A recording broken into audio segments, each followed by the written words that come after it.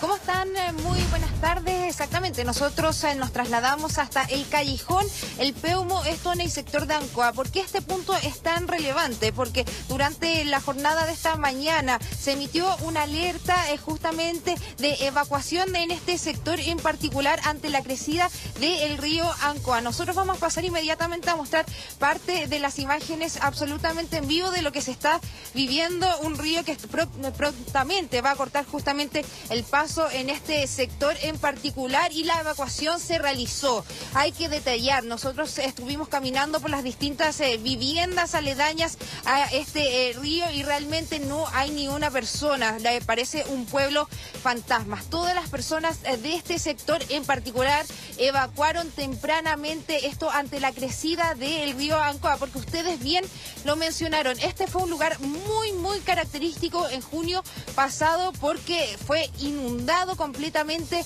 por este río Ancoa. Incluso ustedes lo pueden ver, hay ciertas viviendas eh, que fueron construidas, viviendas de emergencia, eh, principalmente eh, para ayudar de forma inmediata a las personas que habían perdido en aquel minuto su vivienda y que en estos momentos, por supuesto, mantienen ese temor de que pueda volver a suceder. Por lo mismo, se realiza esta alerta por parte de Senapred, en donde todas las personas de este lugar en particular, estaríamos hablando de Callejón El Peumo, esto en Ancoa, fueron evacuadas. En este sector no hay ni una eh, persona, todos salieron de sus eh, viviendas hacia otros sectores. Eh, también hay que mencionar, la ruta está bastante peligrosa, estaríamos hablando de la ruta L45. ¿Por qué?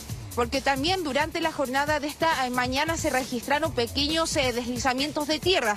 Ya trabajó funcionarios de vialidad, eh, pero la carretera hacia este sector en particular nos han mencionado que está en bastante y en constante peligro también de que pueda ceder nuevamente y se puedan generar estos deslizamientos de tierra. Acá en estos momentos la lluvia no cesa a ratos, también hay bastante viento en este sector en particular, lo que daría cuenta cómo estaría operando eh, finalmente este frente climático en el sector precordillerano de la comuna de Linares.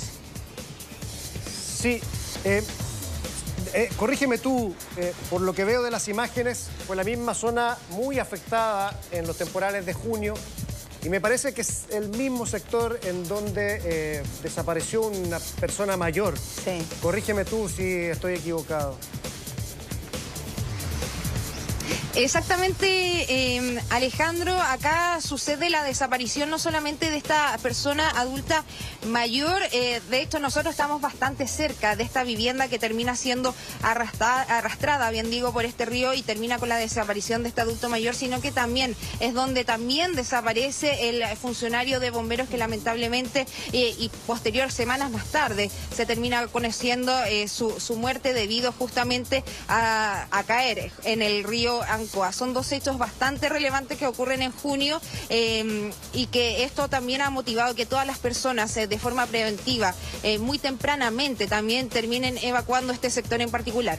Sí, nos llama la atención eso precisamente, Javi, lo que tú decías de que finalmente es, por así decirlo, un pueblo fantasma, porque todos se evacuaron de forma muy rápida y de forma temprana. Esto porque me imagino el temor, el miedo, recordar ahí, cierto, está en la retina, lo, dices tú, Daniel, lo que vivieron todos estos habitantes de esa zona donde hubo personas desaparecidas, eh, un momento complejo y donde para evitar que se pueda repetir esto han decidido evacuar tempranamente y la verdad es que, eh, claro, finalmente le han hecho caso a las autoridades de poder hacerlo y es parte de un aprendizaje, ¿no? Exactamente, continuo. A, esta hora hay 112 albergues habilitados, lo ha dicho la autoridad desde temprano, después del COVID. También entendemos que uno de ellos ya está siendo habilitado y ocupado en eh, Chillán. Muchas gracias, Javiera, Javiera Estuardo. ¿ah?